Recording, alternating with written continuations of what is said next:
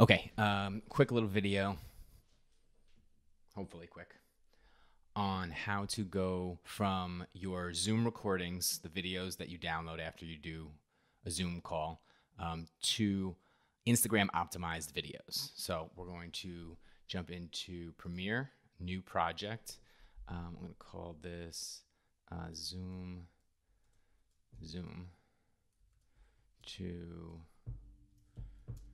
Instagram. Um, I just leave all the defaults as they are. Um, we're going to open up and then we're going to grab our Zoom download. So here is the episode that I did with Brad. Now, the key thing for Instagram is that it's much more square than any of the videos that you're going to get back from Zoom because Zoom does almost everything horizontally. If you do it, um, if you do a group Zoom call, some of the screens will be stacked, but most of the time they're going to be side by side, especially if you just do a one on one. So for Instagram, it's much better to have them stacked on top of each other. You could potentially do them horizontal with a lot of cropping, but it's much better to have them horizontally uh, or vertically stacked on top of each other. So we pull in the video from the call. There we go. It's me and Brad. Um, and what we're going to want to do is first set up the dimensions for the sequence. The sequence is basically what you're editing here. I mean, that's what they call it. So just don't worry about that. When you're changing the sequence, you're changing basically the format of whatever you're going to export eventually. So in sequence settings, here you have your frame size. So I change it for uh, Instagram and Insta and IGTV. Um, it's best to make it uh, a somewhat it's a rectangle it's a vertical rectangle but it's close to being square but it's still technically a rectangle. So i use the dimensions 540 by 625 Six, 626 okay uh, apparently this time it's going to be 626 so as you can see there it's it's ba- it's basically it's basically a square but it's a little bit taller than it is long. Um, we're going to duplicate the video um, by holding option and pulling up. So now you have two of the videos and you're going to basically just take each person and put them where you need them. So we're going to go over to the um, position and scale and we're going to slide this over and first get Brad. And then now here is where it can get a little tricky. Basically, what I'll do is I'm, I'm making Brad the top um, video file, so I'm going to slide that over so I can see underneath the video that still has both of us. I'm going to bring my video over into frame and then bring that up and then bring Brad's video back in so we can see both of them. See, so now here's the issue. Brad's video is more than just his video. It's also this black space that Zoom captures. So what we're going to need to do is jump down into the effects panel and just type in crop. Under transform, you've got crop. I'm going to pull it onto Brad's and then scroll down in the effects controls and we're going to crop from the top.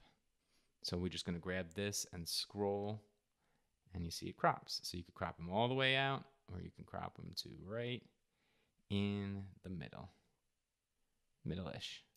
There we go. So now we actually have two videos on top of each other with a portion of it cropped out. One of these. You're just like editing yourself. Funny, yeah but you can make yourself look good. We'll add just a placeholder for subtitles um, because you definitely always subtitle your videos.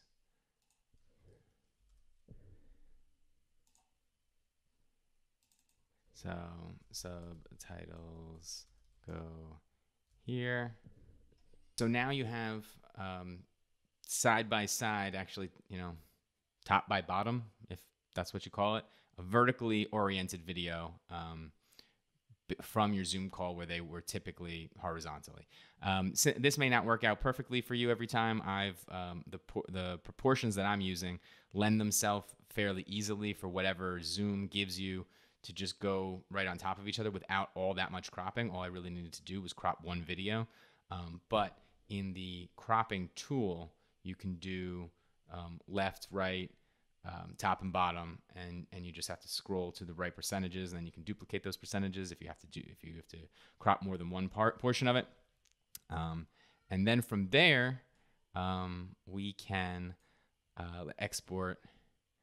Um, see now this is like a gigantic. Uh, this is like a longer interview, but you know you can just cut up to the places that you want.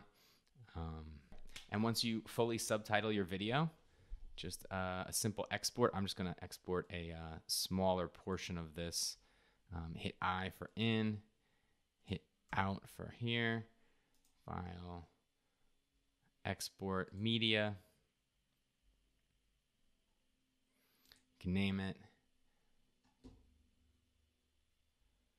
Um, this is Zoom to IG test to my downloads export. I made it super short, so it should export fairly quickly.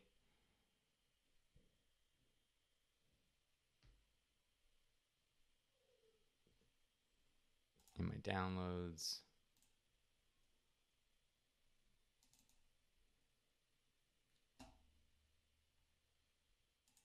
But yeah, I appreciate exactly. that.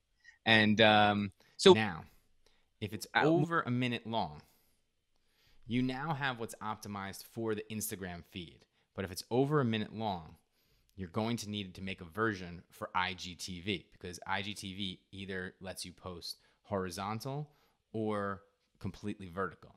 So, what we're going to do now is open up a new sequence. I'm going to call this zoom to IG vertical. And that's basically just going to open a new tab down here with a new panel to do. Uh, uh, basically, you could start an entire entirely new video editing here. And what we're going to do is now set the sequence settings to what is optimal for IGTV, which is 540 by 960 or 1080 by 1920. This is just uh, half of that. I use half because it just seems to be more closer to what the sizes of the actual videos that you get from Zoom are, so you don't have to stretch them out. So we're going to edit in 540 by 1960. We're going to take what we exported and just pull it right in. Um, it'll give us a little warning um, and ask us if we want to change the sequence settings. We don't want to change the sequence settings because that's going to put us back into that rectangular box. We want to use what we just set up here for um, IGTV. And then you see it centers it perfectly. It puts it right in the middle. Um, you now have a vertical video that you can use um, for IGTV. You can put a background in. You can add whatever you want in these bars. You can leave it black. That's fine. Um, so we're just going to export that whole thing. And you see there, it'll it'll keep the name of what you called the sequence. So it's already zoomed to IG vertical, export.